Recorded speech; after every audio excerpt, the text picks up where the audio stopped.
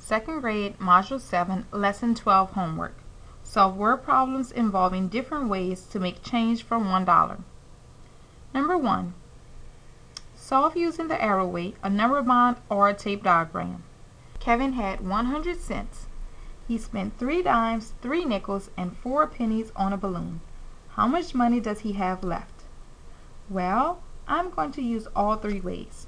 First of all, I know that Kevin had a total of 100 cents, which is the same as $1. He spent 3 dimes, 3 nickels, and 4 pennies on a balloon. That, that totals 30 cents plus 15 cents plus 4 cents. I'll decompose my 15.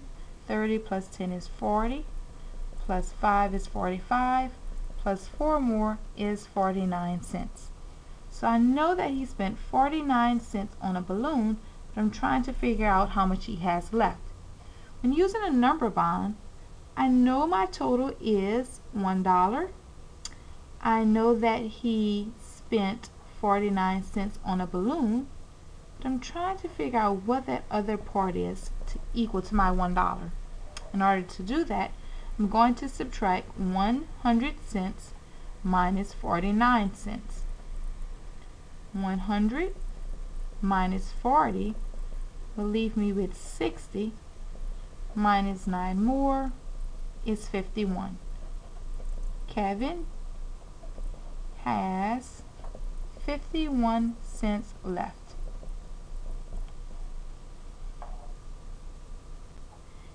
Number 2. Colin bought a postcard for 45 cents. 46 cents left. Number 2. Colin bought a postcard for 45 cents. He gave the cashier $1. How much change did he receive? Well, I know that Colin gave the cashier $1. He bought a postcard for 45 cents. Try to figure out how much change he received from the cashier. Using a number bond, again I know he has a total of $1. One part is 45 cents, but I don't know as of yet what that other part is. So I'm going to subtract 100 cents minus 45 cents. 100 minus 40 will leave me with 60 minus 5 more will leave me with 55. Colin received 55 cents in change.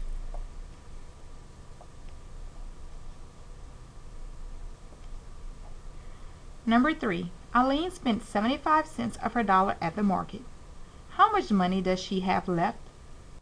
Well, when drawing a tape diagram, I know that Eileen starts with $1, but she spends 75 cents at the market.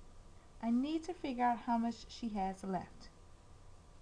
When drawing a number bond, my whole would be $1.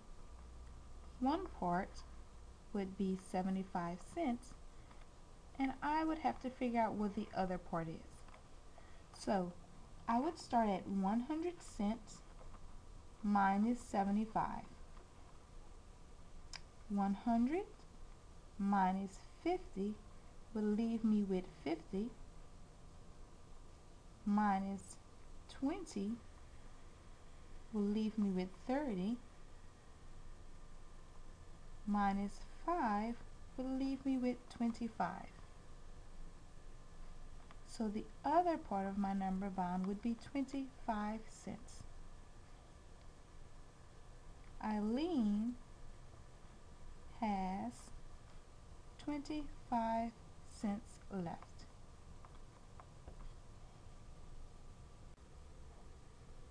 Number 4. The puzzle Casey wants costs $1. She has 6 nickels, 1 dime, and 11 pennies. How much more money does she need to buy the puzzle? Well, to figure out how much money, more money she needs, I'm going to figure out how much money she has.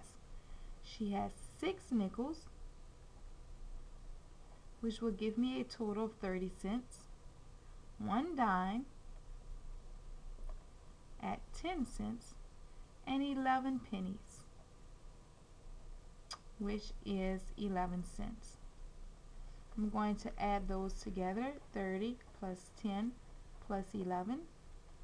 Decompose my 11 to make it easier. 30 plus 10 more is 40, plus 10 more is 50, plus 1 is 51 cents. So I know that she has 51 cents. How much more does she need to buy her puzzle for a dollar? Well, if the puzzle is total $1 and she has 51 cents, we need to figure out how much more she needs. I'm going to subtract 100 cents minus 51 cents to figure that out. 100 minus 50 will leave me with 50 minus one more is 49.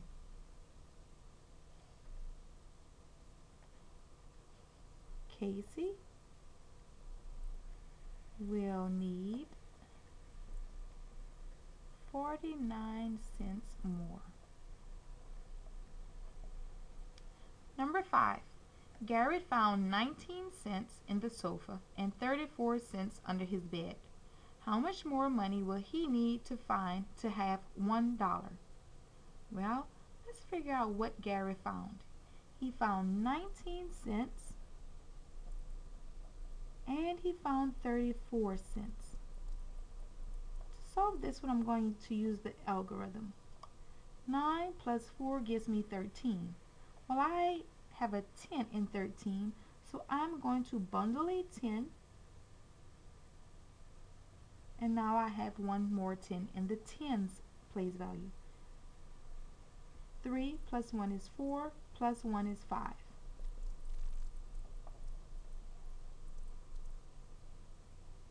So he has a total of 53 cents. Using a number bond, I know he wants a value of $1. I know that one part is 53 cents. I'm trying to figure out is how much more money he needs. So I'm going to subtract 100 cents minus 53 cents. 100 minus 50 leaves me with 50 minus 3 more leaves me with 47. Garrett will need 47 cents more. Number 6. Kelly has 38 fewer cents than Molly. Molly has $1. How much money does Kelly have? Well, I know that Molly has $1 and Carrie has 38 cents. Kelly has 38 cents fewer than Molly.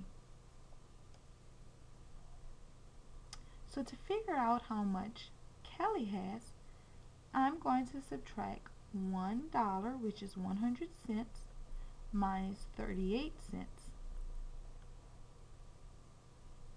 100 minus 30 will give me 70 minus 5 will give me 65 minus 3 will give me 62 so if Molly's other part is 62 cents, then Kelly has 62 cents.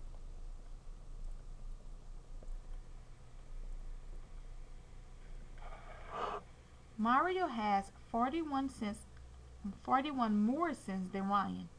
Mario, how much money does Ryan have? Again, if I know that Mario has a total of one dollar and he has 41 cents more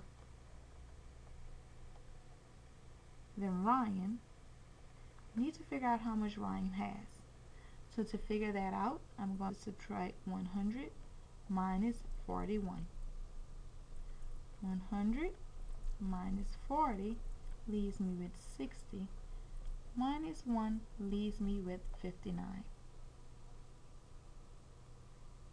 Ryan has 59 cents.